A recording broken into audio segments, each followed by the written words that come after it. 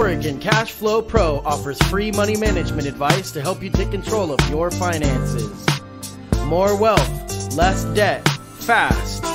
And now here's your host, personal finance enthusiast and licensed insurance broker, James Barber.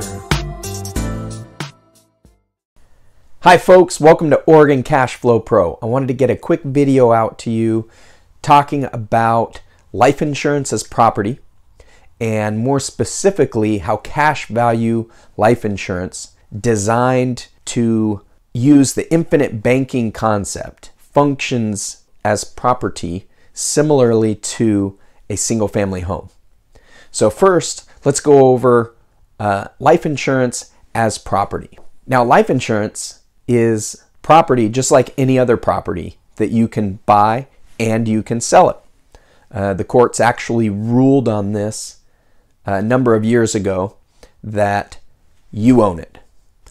A cash value policy, a whole life policy, you own that and you have the right to sell it if you want to.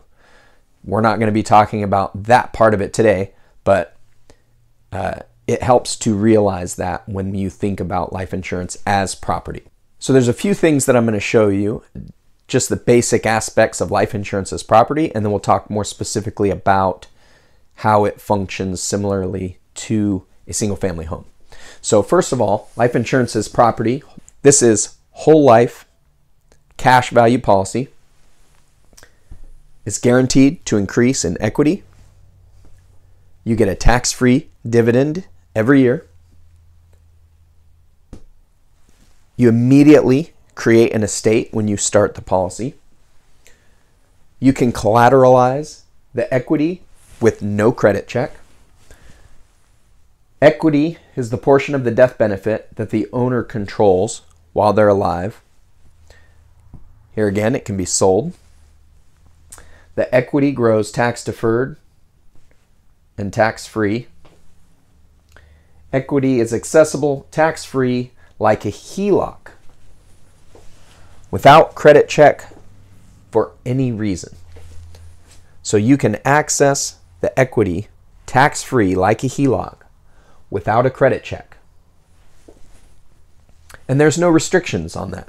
So you don't have to talk to a bank to get access to that cash value life insurance. You don't have to get approved to access that. That cash value is yours to control. So, specifically the infinite banking concept it really utilizes uh, some of these properties to the fullest extent that we can. Okay, let's go over now how life insurance functions very similarly to a single family home when we use the infinite banking concept.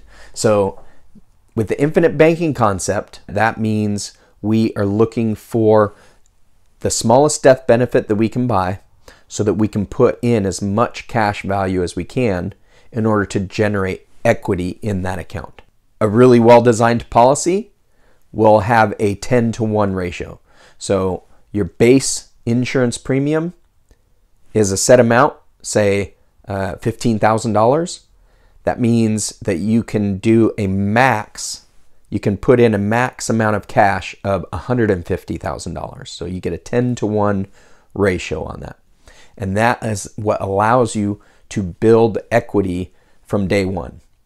Okay, you have access to the cash that you just put into that policy. 80 to 85% of that cash value should be available to you to access as equity in day one.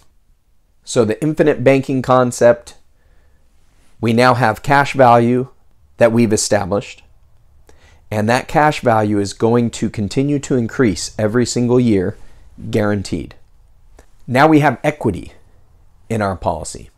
We can access that just like we would if it was a single family home. If this was a single family home and we put money down, we have equity in the single family home and we can get a home equity line of credit so we can access that equity.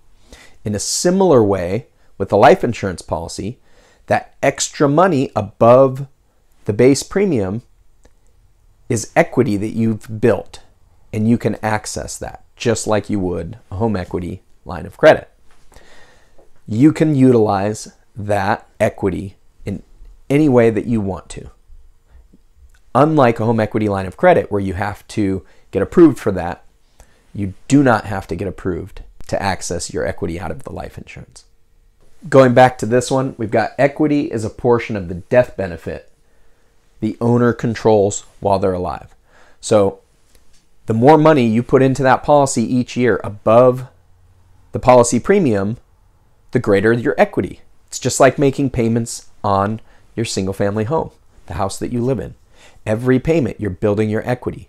And at some point, you can access that equity with a HELOC. Okay? With the life insurance policy, every payment you're making, you're building that equity and you have access to that equity. So you control all of that equity while you're alive. Now, with life insurance, the death benefit is what's going to be available if you pass away. With a single family home, you pass away, whoever inherits the home has the debt burden that was associated with the house, so whatever loan was on it, uh, but they still have the equity that was in it. They control the equity in that house, and presumably they can sell the house and access that equity. Or they can just take over control of the house and access that equity through a home equity line of credit. With the life insurance policy, you have access to the equity, and if you pass away, the death benefit is much, much greater than whatever you had in there for uh, your equity. Because every time your your home, your single family home, when it grows in value each year, it's not a guaranteed growth in value, but it does appreciate over time. Typically, they say about an average of 3 to 6%. It's very similar to your life insurance policy in that you have guaranteed growth, 4 to 6%. Well, guaranteed growth of 4 to 4%, and you can increase it above that depending on how much the dividends pay out or if you have it indexed to a uh, if you have it indexed to the stock market in some manner. So there's different ways that you can get that increase. Equity in the policy grows tax deferred, just like equity in your home. At some point, if you sell your home, you're going to have capital gains that you owe on that above your basis. Life insurance policy works the same way. You can access that equity tax free through policy loans, just like you can your single family home. Your single family home, when you take out a loan against your single family home, you don't pay taxes on that. You're accessing the equity, but you don't have to pay taxes. It's not income, not unless you sell it. In the case of insurance, selling it is equivalent to actually withdrawing the money out of the account. So that's the equivalent of selling your house. In the meantime, your equity grows tax deferred and you can access it tax free. Uh, big difference between single family home and life insurance your equity is accessible tax free, just like the HELOC, but without any credit checks. You, you don't have to justify why you want the money. If you want the money, you just ask your life insurance company for it. Um, with your single family home, you typically have to provide a reason. You've got to show income. You have to um, prove to them that you're able to pay back the loan. In this case, in the life insurance case, you don't have to prove that. They know they're going to get paid back through the death benefit. So if you pass away, the death benefit will pay back the loan. So there's nothing to worry about as far as that goes. Ah, you can sell your life insurance policy just like you can sell your single family home. So there's another similarity. And as you can see, those two pieces of property act very similarly. Life insurance just has guarantees that your single family home doesn't have, although there's good reasons uh, to own both of them.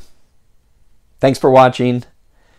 I hope this helped you understand a little bit better about how life insurance functions as property and that there's a lot of benefits beyond what you normally think of when you think of life insurance, which is typically just the death benefit.